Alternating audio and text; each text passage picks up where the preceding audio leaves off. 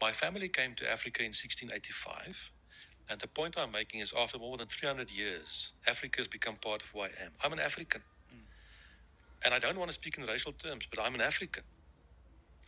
So hmm. that's my family history. We've been people fighting for freedom all our lives. And our fight was not with black people, our fight was with the British colonial power.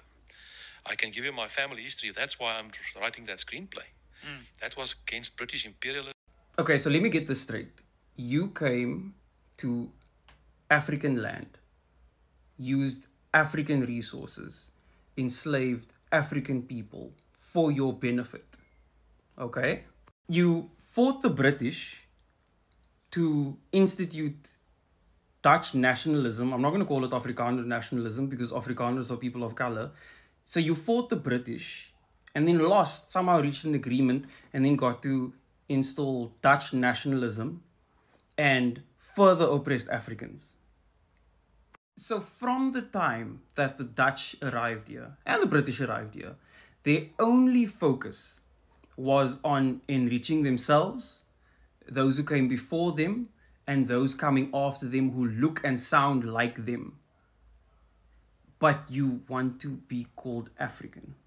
Now, apart from the fact that you will never be African and the only way you can be classified as African is via a document, you aren't European either.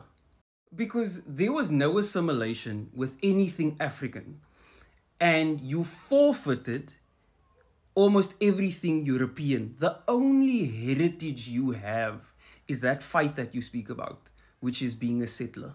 That's the only identity you have, and the only one you can assimilate with. Because what kind of African looks at colonialism as a positive thing? What kind of African looks at statues of these slave owners and oppressors and sees themselves in that? What kind of African chooses the West and whiteness every single time over the real Africans that are right next to them? Take your European abandonment issues up somewhere else.